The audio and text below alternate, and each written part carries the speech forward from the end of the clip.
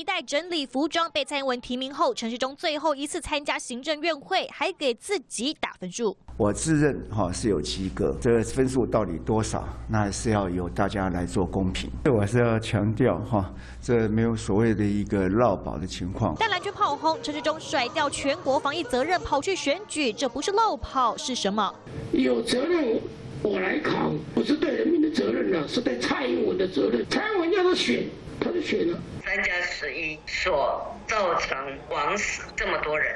结果今年又来一次，不要脸鬼都怕。陈志忠一宣布参选，就传出英系的焦糖哥陈嘉行是空战操盘手，他狂轰青绿馆长陈之汉，还暗示大家别去他的健身房，只因为馆长不挺陈时中。啊，你疫情办完呢？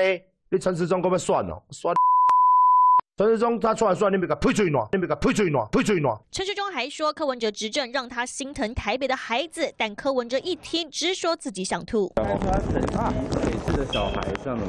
哦，好了好了，不要问哦。好，小心哦。我有吃午餐了。当一个人无耻到一种极限哦，可能就变成天下无敌了。你害死了多少人？你的儿童疫苗比人家晚了半年多才来，你从头到尾都没有为儿童准备，然后死了这么多人之后，你告诉我你心疼台北市的孩子，其他地方的孩子死都不算数了。还没卸任，陈时中的网军就开始狂轰敌人跟对手，落跑指挥官有没有资格当市长？答案年底出炉。记者杨七号李一璇台北报道。